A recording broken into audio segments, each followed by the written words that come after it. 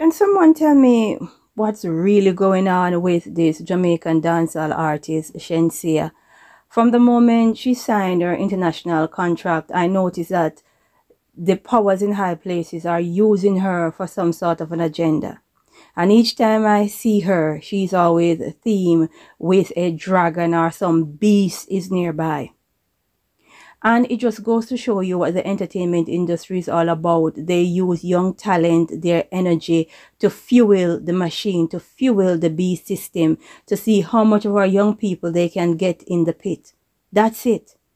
Now, Shenseea probably think that she's winning and everything is glorious. She don't realize that they're basically using her for their agenda. No, we need to seek the face of the Most High while we can because this is absolutely sad. And we need to stop supporting these artists, stop supporting the system, right? Stop supporting the beast.